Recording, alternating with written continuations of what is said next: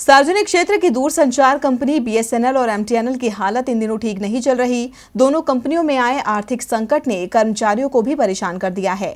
इसलिए साठ हज़ार कर्मचारी वीआरएस ले रहे हैं। अब ये फैसला मजबूरी है या फिर ज़रूरी, ये तो पता नहीं, लेकिन सवाल ये है कि स्थिति का जिम्मेदार कौन है। जब से मोदी सरकार दूसरी बार सत्ता में आई है, तब से सरकारी कंपनियों का बंटाधार होता जा रहा है। सबसे ज़्यादा असर तो दूर संचार सेवा के क्षेत्र में देखने को मिल रहा है, जहाँ बीएसएनएल और एमटीएनएल दोनों की हालत खस्ता है, जिसका असर लाखों कर्मचारियों पर पड़ रहा है। यहाँ तक कि उन्हें वेतन का भुगतान भी देरी से किया जा रहा है। यही वजह है कि पिछले दिनों कंपनियों ने अपने कर्मचारियों को वीआरएस का ऑफ़र दिया था जिसे हज़ारों कर्मचारियों ने मान लिया। दूरसंचार सचिव अंशु प्रकाश ने बताया कि बीएसएनएल और एमटीएनएल के साठ हज़ार से अधिक कर्मचारी स्वैच्छिक सेवा निवृत्ति योजना के लिए आवेदन कर चुके हैं।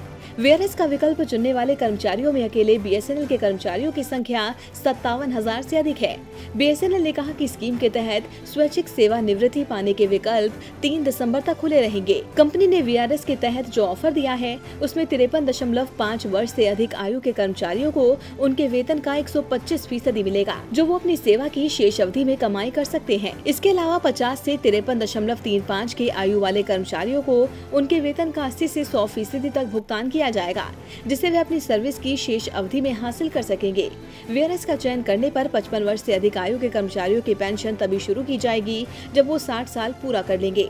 कंपनी की स्कीम को पचपन हज़ार ऐसी ज़्यादा कर्मचारी मान चुके हैं। अब इसे मजबूरी ही कहा जाएगा, जिसे उन्होंने अपने लिए ज़रूरी बना लिया है।